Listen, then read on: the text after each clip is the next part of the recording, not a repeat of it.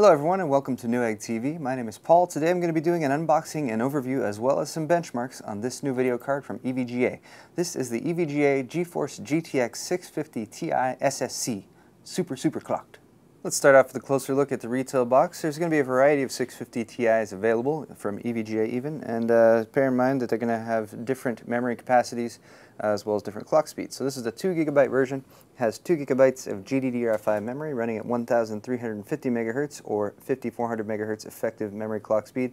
It's on a 128-bit bus and it can transfer data at 86.4 gigabytes per second. Of course, you also get DirectX 11 support, PhysX, 3D vision. You can actually push three monitors from this single video card. Uh, it's PCI Express 3.0 compatible, and the SSC being the super super clocked version means that rather than the uh, stock or reference clock speed for the uh, 650 Ti, which is 925 megahertz, this card runs at 1072 megahertz. Also, we have some more features listed here on the back of the box. I'm not going to go over all these, but you get a lot of 600 series uh, goodness, such as adaptive VSync, TXAA, and FXAA. So uh, that, all that stuff's included, all listed right there. Next up, let's take a look at accessories. Taking a look inside the box, we have some accessories and documentation uh, for accessories. You have a DVI to VGA adapter. So if you have an older monitor with a VGA D-sub 15-pin plug like that one, you can use that to connect it. Uh, bear in mind it will only work with one of the two DVI plugs on the back of the card. I'll show you which one. Uh, also you get a double Molex to single 6-pin PCI Express power adapter right there, as this video card does require a 6-pin PCI Express power connector. Uh, bear in mind also that you're going to want at least a 400 watt power supply for this video card and your entire system if you're going to be installing this. So uh, this is all the accessories. The card's still in there. I'm going to pull that out in just a second.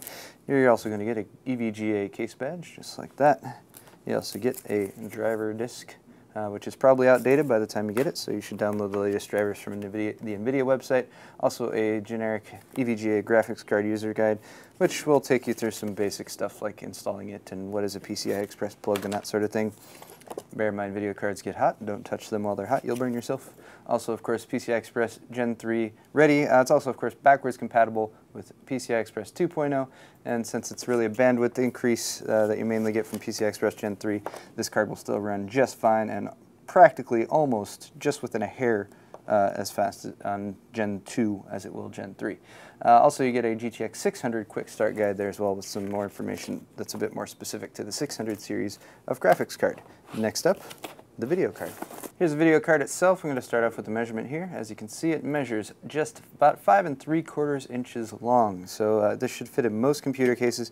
Bear in mind it is a two slot card, so you're going to need a two slot spacing available on your motherboard and in your case. But apart from that, the card is very short, should fit in most cases, and uh, yeah, I, I, like the design of these cards. We first saw this when the GTX 650 came out. 650 Ti is actually a pretty nice boost up from the 650.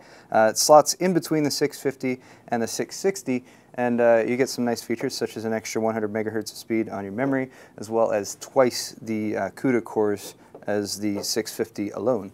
Bear in mind also that the uh, power connector is pointing backwards towards what would be the back of the, your case in most situations, so give yourself a bit of extra space there for cable management, so make sure you can plug in that 6-pin uh, power connector. But there's the power connector. You can also see the sort of uh, black radial fin array of the aluminum fins on the cooler right here. You have a single fan here that's going to be uh, projecting air down and over those fins help dissipate the heat that's uh, pulled up from the GPU itself, as well as give some airflow over the additional components on the uh, video cards, such as the power delivery. Uh, one of the customizations EVD, EVGA does uh, with a lot of 600 series cards is they've given you wider slots here at the back of the video card, and that's just to help air move more freely out the back of your case, uh, which is a great solution because uh, getting that air outside of your case is going to do less to uh, raise the internal ambient temperature for the rest of the components in your computer. Since we're here at the back, uh, might as well point out again, double slot uh, uh PCI Express, two slot card right here, so uh, again, keep that in mind. Here are your video outs right there. This is a dual, uh, I'm sorry, this is a DVI dual link connector right there. You got two of those. This one over here has your analog connectors, so if you're going to use that DVI to VGA adapter, use it with this plug. It will not work with this plug. This is digital only. And then finally you have a mini HDMI connector right there. Uh, so you can actually power up to three displays out of this single video card, uh, which can set you up for NVIDIA Surround as well as uh, multi-GP, multi-display gaming solutions. Apart from that, uh, you have this sort of shroud. It's uh, partially enclosed. There's a bit of open space, so that'll uh, allow a little bit more airflow over those uh, fins. Also, uh, you have some EVGA logos, the GeForce GTX 650 Ti right there, as you can most likely see.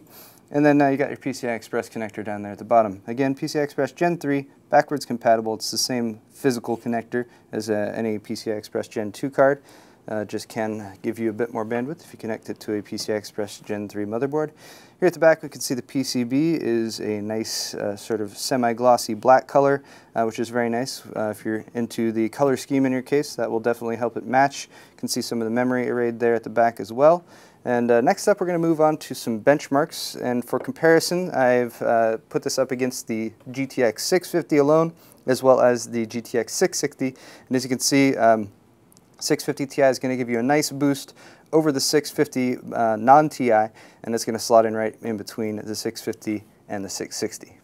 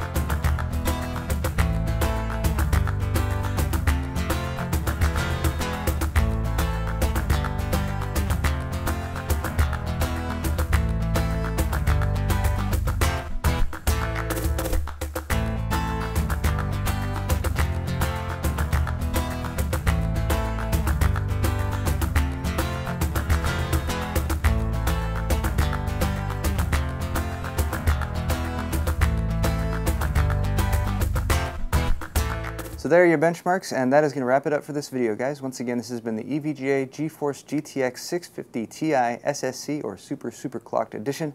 I'm Paul with Newegg TV, and if you enjoyed today's video, you can find more on our Newegg YouTube channel. Don't forget to subscribe for more tech videos. Thanks a lot for watching, and we'll see you next time.